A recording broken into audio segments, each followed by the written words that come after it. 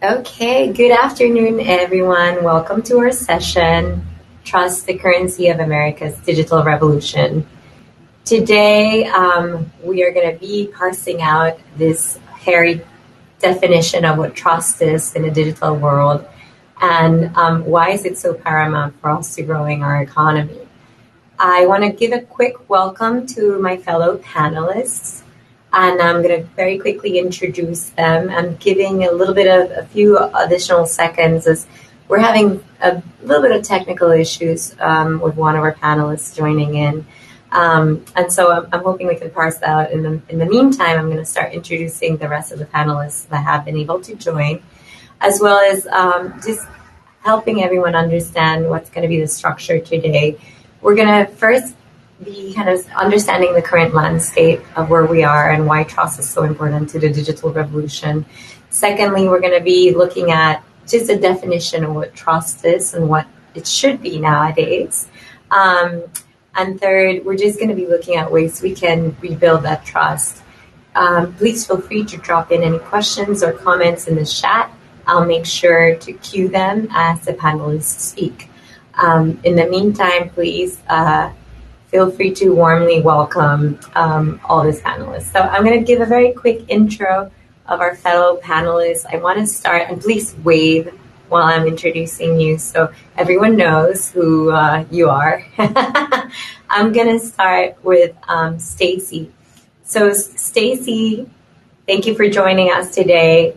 Stacy is a chairman of Asylum Capital, a privately held company that's headquartered in Atlanta. He's a veteran of over 25 years in the finance industry, finance technology fields. He, um, prior to funding Asylum, he was the president and CEO of HellaStorm, a chip design and hardware firm company specializing um, in data ex- acceleration. Before that, he was a senior level management position at a few companies, including uh, within the finance, risk management, technology, and investment banking fields. He's a frequent speaker um, in different events worldwide, and he participates in the Yale Chief Executive Leadership Institute, obviously here at the Horasis Global Visions, and in the Society of International Business Fellows as well.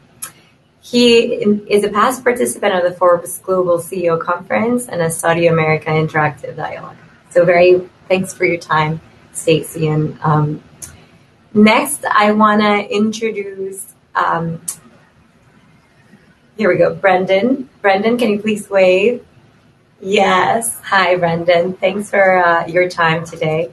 Brendon, he's an experienced, steady, curious listener with a passion for problem solving at an intersection of business, marketing, technology for scalable, predictable growth.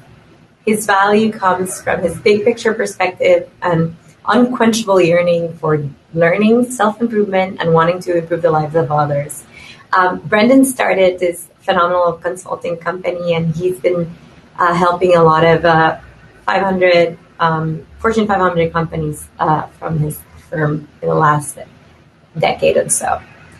Um, Andrew is our next panelist. Um, hi, Andrew. Thanks again for your time today.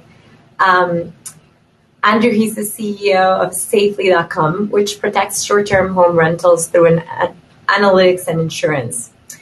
Safely has covered over $40 billion of homeowner liability since launching in 2015. Previously, he was an analyst at McKinsey & Co. Um, travels practice. He holds an MBA from the London School of Business um, attended the Chinese University of Hong Kong and ex- um, on exchange and holds a BBA from Emory University. He currently lives in Atlanta. And Doug just joined. Doug, I'm so relieved to see you here. We've been having a little bit of a technical issues this morning. So happy you could join. So, Doug, I'm going to quickly give an uh, intro for you. Um, Doug is a global entrepreneur dedicated to helping members of Global Chamber reach new markets anywhere across metro areas and borders. He's a two-time expat with DuPont, DuPont in Tokyo and Singapore, with 30 years of business experience in nearly all countries and segments. Doug is a regional advisor of the U.S. Global Leadership Coalition and a member of the of collaborating international groups, including Arizona District Export Council. He has a, B, a BS in chemical engineering from the University of Utah, an MBA from Michigan State, and has over five patents. So he was born in Mount Kisco and lives in New York. Mount Kisco, New York, sorry, and lives in Phoenix and San Francisco. So welcome to our panel. Um, I'm hoping that you will be able to join um, and are able to re, um, iron out differences with a tech uh, platform. I want to give a quick introduction uh, for Supreet in case he's able to join. Supreet, he's the managing director of Raiven Capital, um, and he has over 25 years of experience in the Silicon Valley. He currently serves at uh, the different boards of fintech, artificial intelligence, IoT, and cybersecurity. Um, and so uh, we're really all looking forward to also um, his expertise here. Okay, so thanks everyone. I'm going to proceed to give a very quick um, overview of what we're going to be discussing today. And then um, proceed with queuing the questions for the panelists. The panelists, please remain on mute while you're not speaking so we don't have like uh, terrible feedback as I've heard in other sessions. um, and if you want to interject, by all means, just click off the mic and unmute yourself and uh, join in the participation, join in the conversation. So the pandemic lockdown, as many of you have been listening to in the morning, um, has but accelerated the speed of technological change, right? Our office is Zoom, our classroom is Google, our mail, our mall is Amazon, and entertainment streaming of course, even this gathering is actually possible thanks to technology. Our growing dependency on technology has led many to recalibrate their relationship with it. People really enjoy reaping the benefits of technology, such as increased connectivity, flexibility, access, etc. But at what cost? Tech issues like security hacks, inappropriate or illegal surveillance, misuse of personal data, spread of fake news, um, algorithmic bias, lack of transparency, et cetera, et cetera, are regularly hitting the headlines and feed the current tech lash as a re- and result in distrust. Many feel a gap between the individual and societal benefits of technology.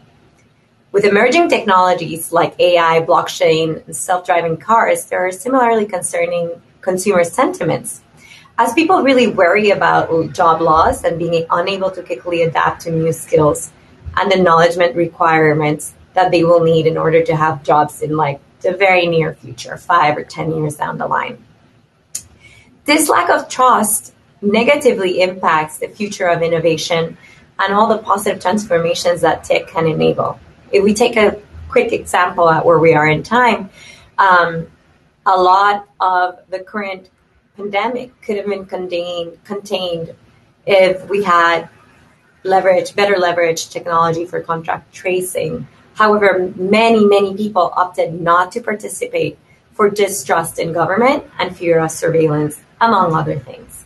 Um, we really need digital trust to drive business growth and actually shared prosperity in the communities where we live and work.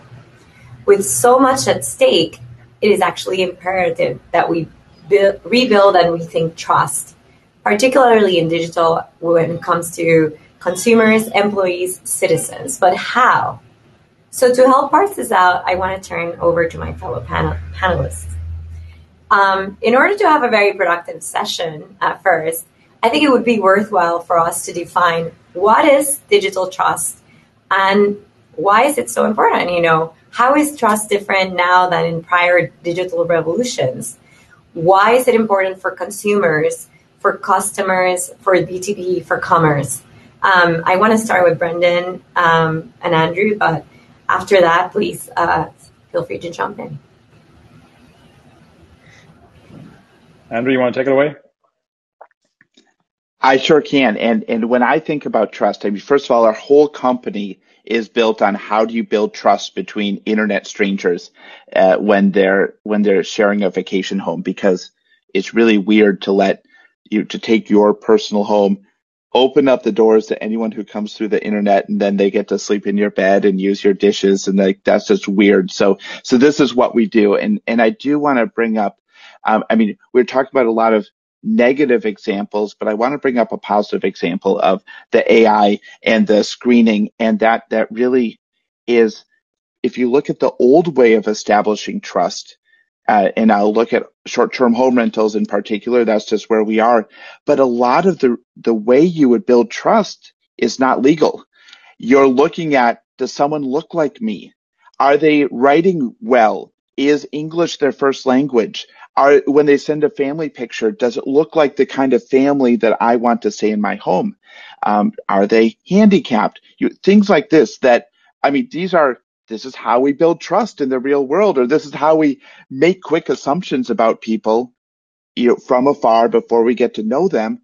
And sometimes that's illegal. And it certainly is not in the public interest to, to make decisions about the suitability of someone based on that. So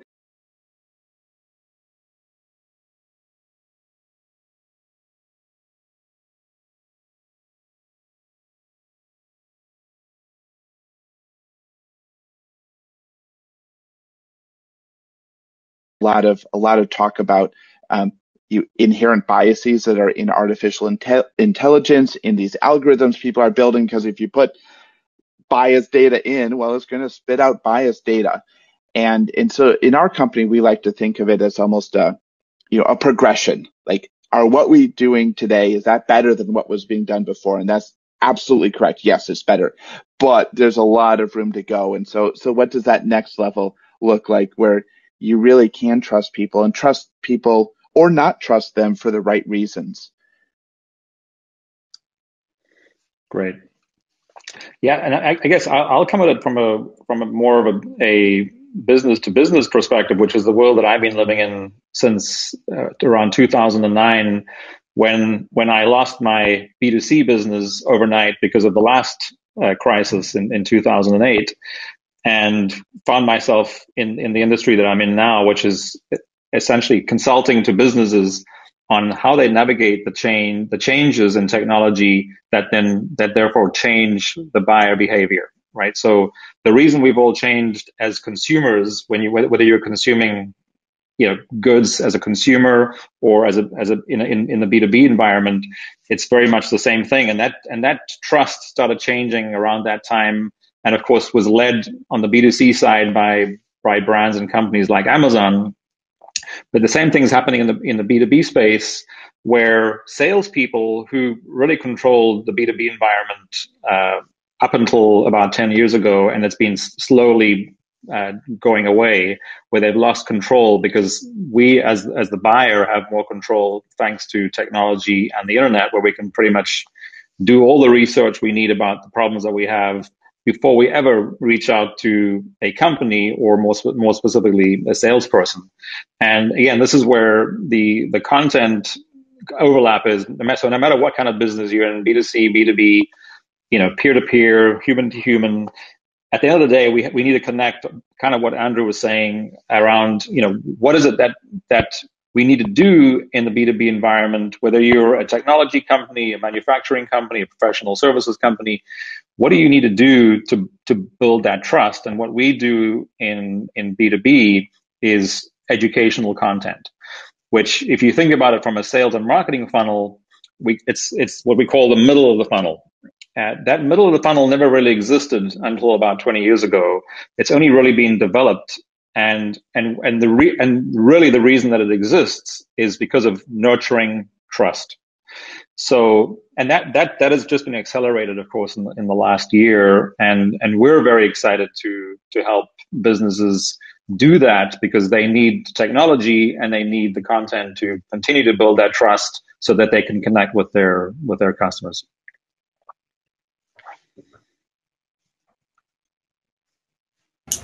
Great. I'm not sure, Doug, if you there was a comment you wanted to add. Oh, Supreet, so good to have you here.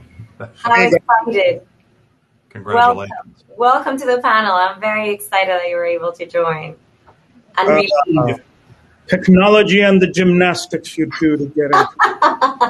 As I was saying before, we all love technology, but technology doesn't always love us back. So I'm very, Congratulations very and welcome. Join. I, I had to threaten my computer that its life hung by a wire.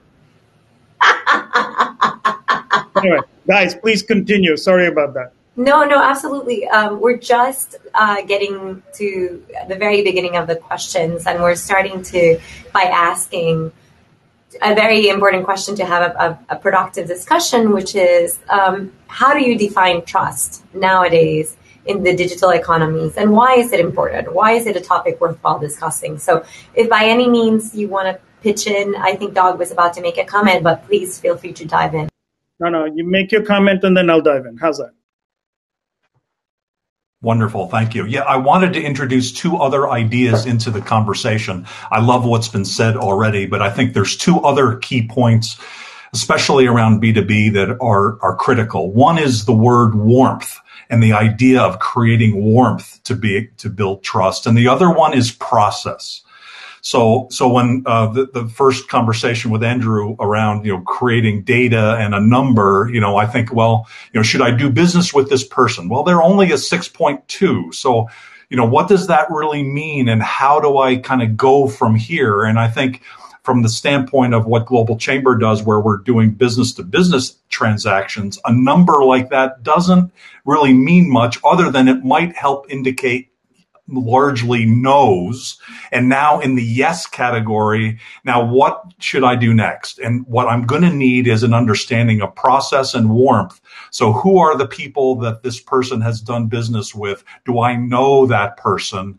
You know, that connectivity becomes a process and it becomes a warming of a potential relationship so that I can do a transaction. And so I think those two are key parts of that have always been part of business but they're going to continue to be an important part even in the digital age. So, um, if I can chime in, two components. Um, in non-digital age, trust uh, is about relationship. In digital age, how do you define relationship? So, in in first world countries, relationships are very parameterized. You know, there's legal. Uh, so you define trust by all the protections against antitrust, right? So I have a legal way to sue you in case I don't trust you because you screwed up the transaction, blah blah blah right? Now, if you take that, if you, you know, and globally, if we take the different layers, first world, second world, third world, when you move to the perspective of doing a transaction in non um, systemic systems where there's uh, recourse and recovery and, and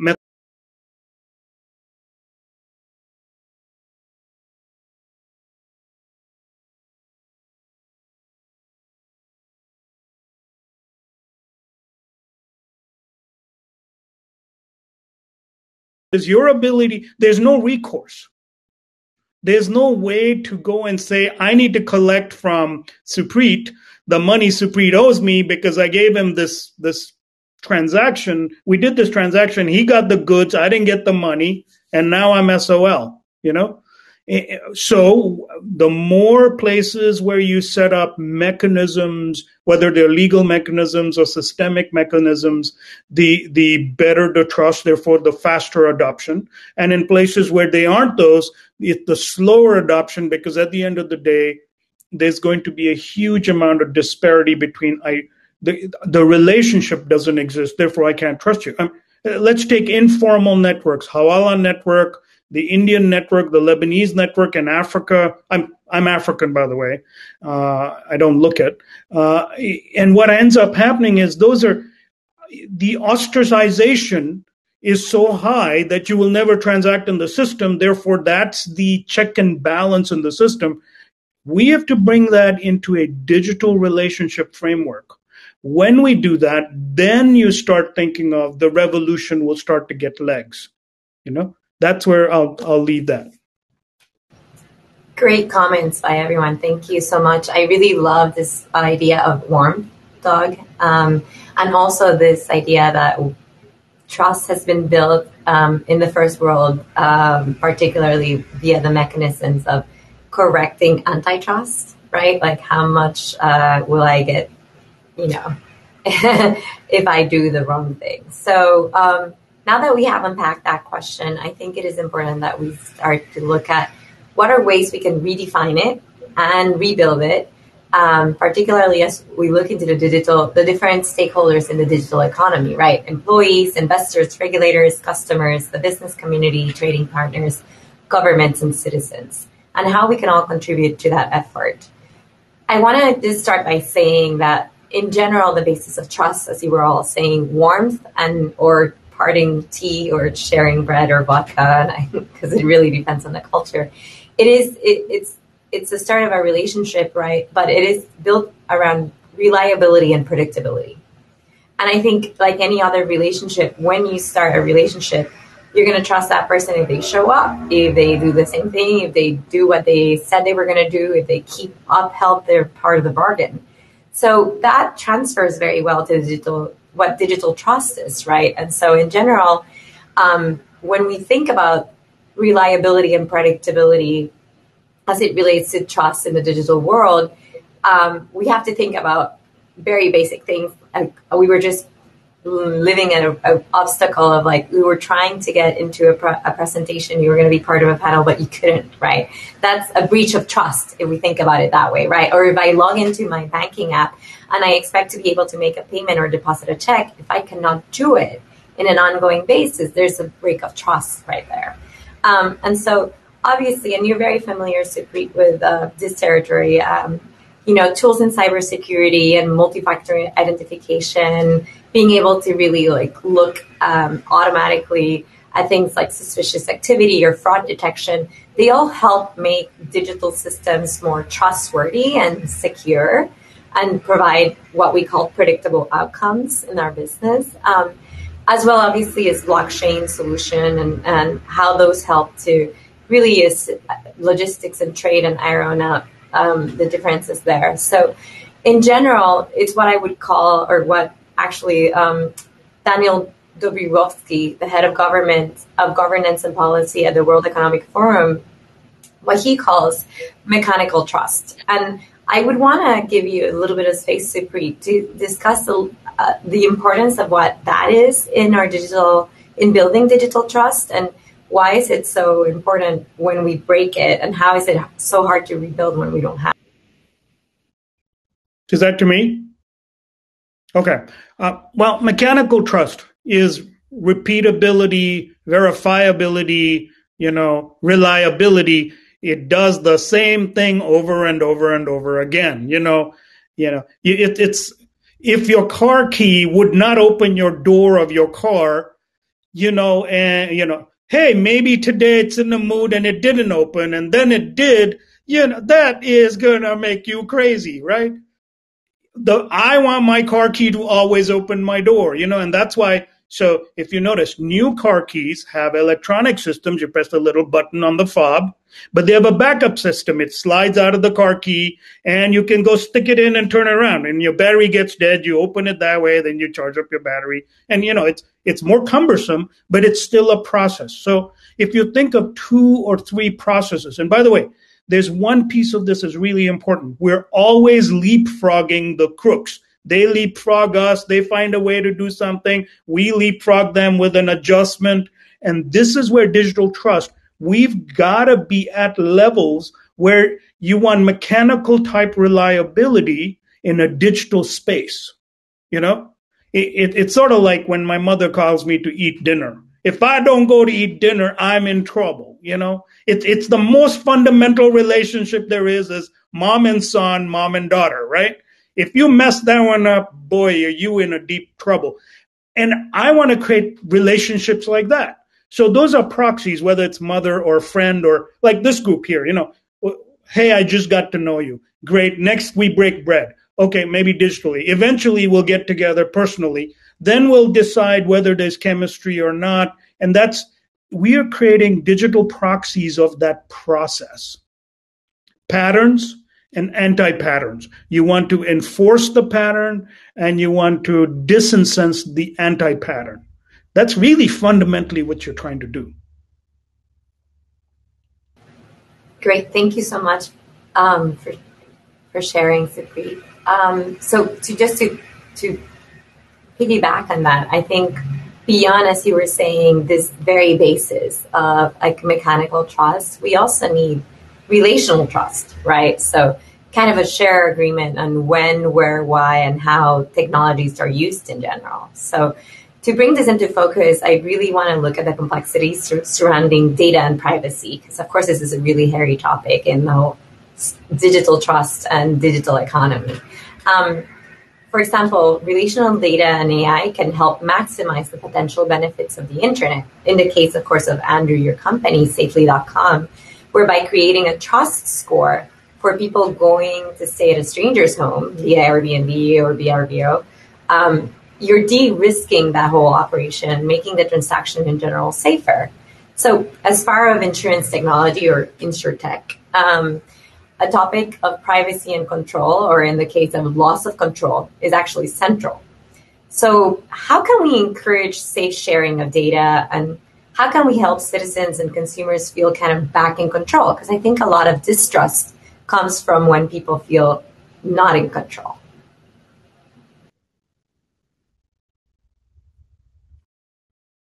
Who's that for? Andrew. Andrew, sorry. That's for me. Okay. Um, we run into this problem, um, you know, pretty often. We um, some homeowners say they want us to run a background check.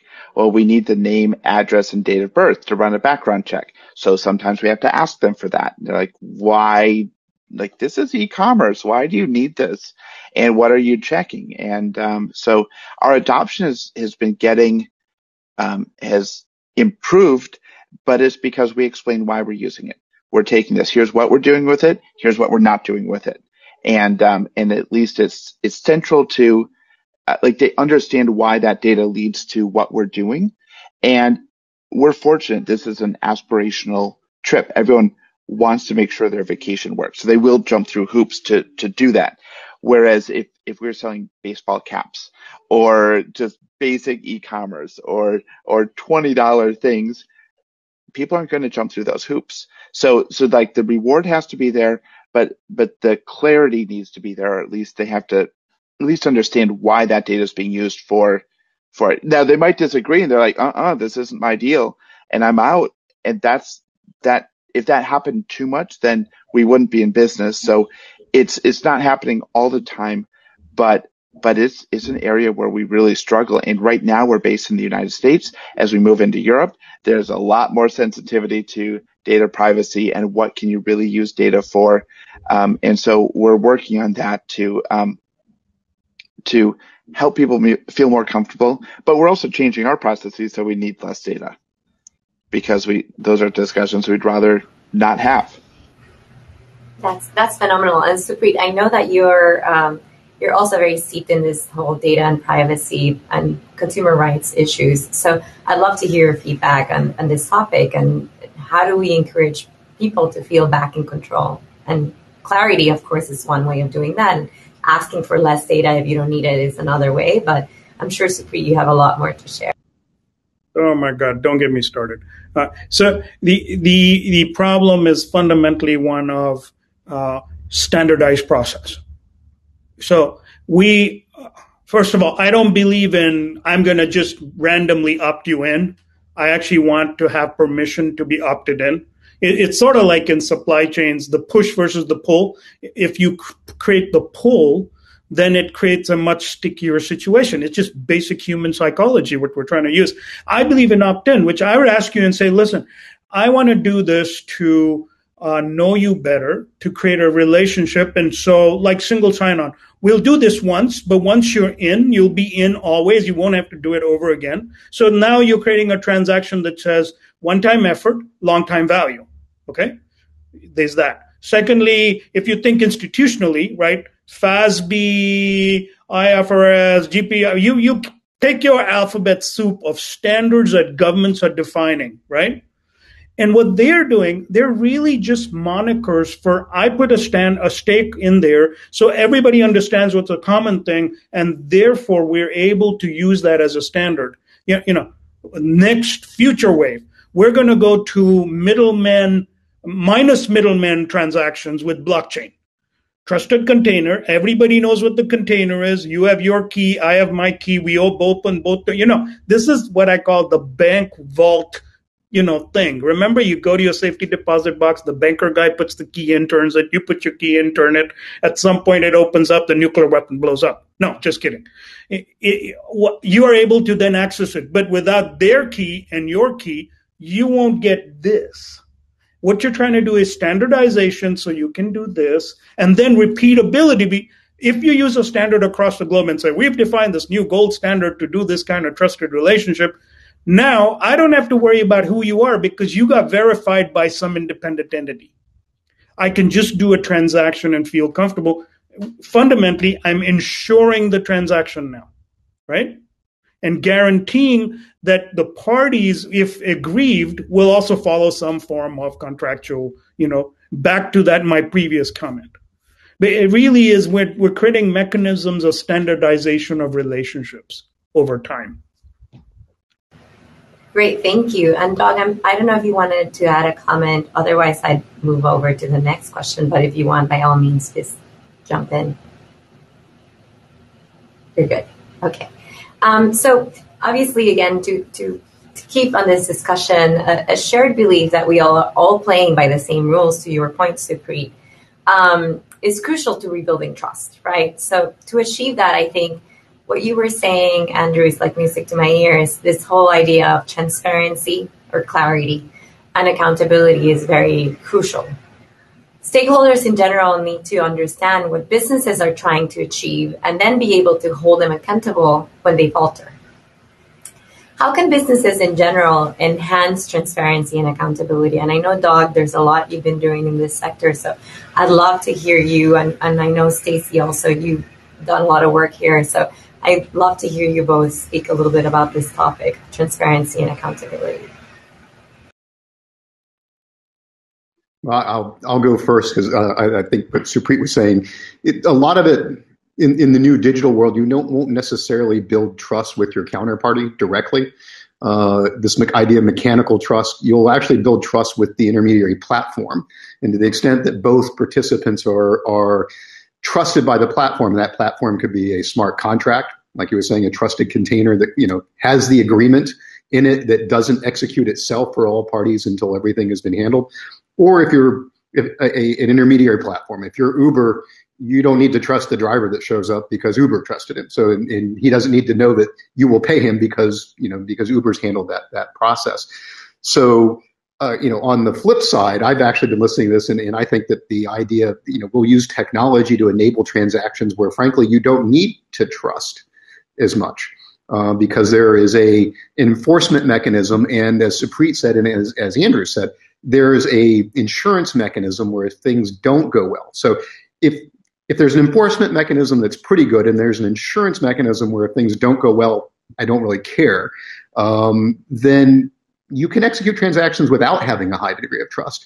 And given the volume of transactions that are that are going to be happening in the digital world, uh, the fact that they will be global, you won't have the opportunity to sit down with someone most of the time, you know, and break bread and drink vodka and all the good things. And I came from that world and it was great, but it's it's going to be a different world. So technology as it advances um, and will enable these platforms and will enable these contracts and will enable the mechanisms for being able to transact without necessarily having trust. Now, that can be taken to a really dystopian extent. For example, in China, where they're coming up with a social score, a social capital score, and if you don't have a, a sufficient social capital score, you can't get on the subway for example, until you'd go and do a community service and get some brownie points back so that now that you can buy bus tickets and things. So, you know, it, it can go, it can be taken to, to a level that, that that's kind of scary. But, um, you know, if we keep it within the guardrails, you know, you, we may need less trust than we actually think in order to transact most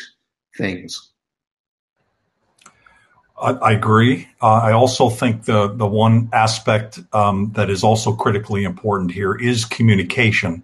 You know, earlier we were talking about you know all of these things happening, and a lot of times confusion reigns. Right? It's like, well, why do you need that information? What? So so I think a lot of companies if you've ever done healthcare in the United States, you know that healthcare companies are a great example of people who don't listen. All they know is what their own product is. And if you've ever tried to get healthcare insurance, you're on the phone for hours and hours with you know lack of trust and lots of swearing uh, and and very upset people, but because they don't care to communicate to you. So the people that will be successful in the future are the ones that are communicating like yeah, i need this because this. And and you have a clear view of how this all works together because you've been communicated to in a way not just things that you've researched in a book but they've gone out of their way to give you that sensibility right? You know uh, so so that's a key part. The other c word that is important here is connectivity. So I mentioned process earlier, and uh, and we already kind of talked through that. But connectivity is really important. So when you sign on to Clubhouse now, if any, if any, of it's if you're global, you should be on Clubhouse. I, I'm a global guy, so I just I love just jumping into conversations anywhere in the world. But if you're there, you're connect. They force you to do a Twitter and an Instagram and they request you to do LinkedIn, right? So now you've got this connectivity between various parts of your world and other people's worlds. And you can start to begin to make the connections that say, I'm going to trust or I'm not going to trust going forward. And so connectivity is another key part of the process that we're developing in this digital world that's going to be critically important.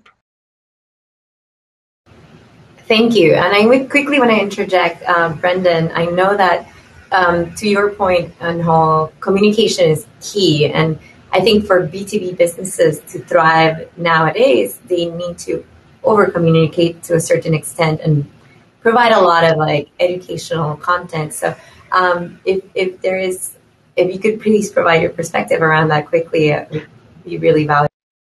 Yeah, well, I think what's interesting is, I mean, these these threads seem to be repeating themselves as each of us talks, and they and we're all saying the same thing, but just slightly differently. You know, whether it's communication, you know, Doug was was talking about communication and connectivity. You know, we we we think about them in the B two B world on, on like what is that helpful content that that needs to be created along the buyer's journey in the B2B environment, whether it's whether it's a, a, blog article or a, or a short video or a longer video explaining something. Uh, again, depending on where someone is in that journey, those are all part of what's building trust, you know, in, in the in the digital world and creating those connections and going back to what Supreet was saying at the very beginning, like building that relationship um, where you know you, there's there's various analogies, um, and I think Supreet's already used a really good one. But you know, you don't just walk into a bar and ask the first person you meet to marry you. You know, you got to go through the steps. You first buy the drink, you watch a movie, you go to a restaurant, et cetera, et cetera. And that and that's what what has to. That's how you build trust. That's how you used to build trust, uh, you know, to Supreet's point. But now you need to build that trust differently in the, in the digital world. And the way you need to do that is you need to, again, Peter Drucker said this a hundred years ago, not quite, but um, where you know you, you, need to you need to understand your customer better than anyone else as a, as a business, and you need to understand them better than they do.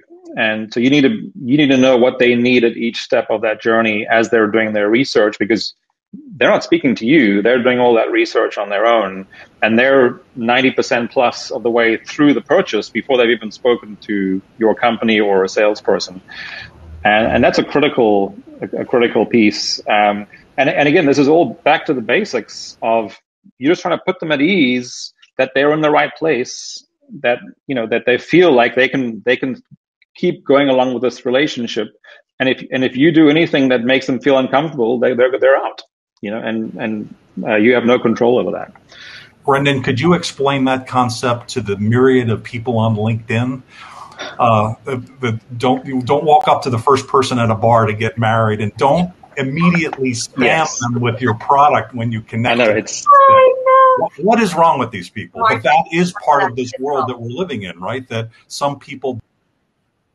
Right. So, just to quickly interject, because we have six minutes left in our panel. Um, so I wanted I want to piggyback back on that topic, Brendon, that you were saying about knowing your customer. I think that's really important and almost being the voice of your customer to a certain extent because I think much of the current mistrust of technology nowadays stems from a perceived misalignment between what technology companies are doing and like the common good, right? Kind of the ethics behind it, and what is good for individuals or society. So I think that building prosperity and making a positive impact in our communities in general and ensuring that the benefits of technology are not reaped by a very limited few, but kind of enjoyed by many, is a moral imperative, imperative for us all um, to build sustainable and, and balanced growth in general. And so I think to achieve that, there has to be a shared outcome, right, by all stakeholders and ways for those stakeholders to have a say in how these technologies are bound by our social rules.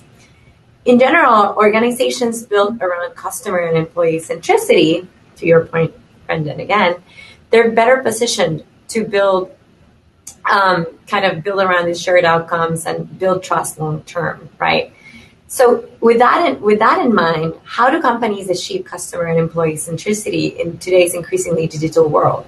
Beyond all this great content that you were discussing just now, like what are other ways that um, companies achieve customer centricity and employee centricity? So that, that question is back to me. Yeah. So, yeah, I mean, we very simply the way that we look at it uh, here in our day to day and and week to week is it comes down to to two things, right? It, and again, it's it's a, it's a repeat of every, everything that we've already said so far in the last forty minutes, which is uh, it's about the customer experience, and then from a from a business perspective, again, it's the, the the flip side of the same coin is operation internal operational excellence. So, and what we found in the last few years as this has accelerated is that if you solve for the one, you're, you're simultaneously solving for the other. And, and the one that we like to start with is solving for the customer. And, and again, it, you know, it, it, just seems it's the most, it, it just makes the most sense. If you, if you can solve for the customer, in other words, you're building the trust and, and you're then, in, in our case, we're building the technology that that accompanies that that customer or that person through their entire journey from being a stranger to an ambassador of your, of your brand. Uh, again, you need the technology that, that'll do that, that runs across your marketing, your sales, your customer, and your customer success, which is typically, you know, the flywheel that is that we build around the, the customer. And if you solve for the customer and you simultaneously building the technology so that your marketing team, your sales team, and your customer service team are always connected and integrated. Uh, everybody wins. And um, so th- this is how we think about it is again, solving for the basic needs, making it easy for the customer. If you make it easy for the customer, you make it easy for your employees. If you make it easy for your employees, you have very happy, happy shareholders uh, because it typically drops to the bottom line. So Great, thank you. Anyone else wants to add to that? We have only a few minutes left. So uh, I think we're doing something. We're in this hybrid mode. We're going from very human centric transactions that were varied across the, but you notice the elements of those, the, the common elements become systemized and, and, and, and then they get moved forward to a more systemic thing that does that. Now, uh, we search for things, we find things, we compare things, and then we do the transaction. The way we come back is that feedback loop of customer service, reliability, and most importantly, my bank is a great example. They call me up and say, Did you like this? And it wasn't just give me five stars, is did you really like this? And do I am I listening? And the listening component of a feedback loop going back to the designer guys, so they change it, is that element that goes and will create that stickiness in that. You know, trust is easy to lose, hard to get, but once you get it, you know, the network effect of I really had a great transaction is very, very high, very high. Well, I want to take a few uh, a moment to thank everyone for uh, your great contributions to this panel. There's so many other topics we could have like just deep dived further into. But I think in general, it was a really productive discussion. I really loved this idea of building warmth um, and systematizing some processes that will do that, but right. But um, also, how do we, as companies, are proactive um, at building that in an ongoing basis via communication and a lot of other mechanisms actually listening and implementing that change to your point, Sophie. Okay. Well, thanks everyone. Um, thanks again for your participation. I hope you have a productive rest of your Horasis. Um, and I, I'd love to see you in the interwebs and beyond, hopefully in, in person in the next event. Okay. Keep it warm. Absolutely. Yep. Thank Exactly. you. Take care, everybody. Great job.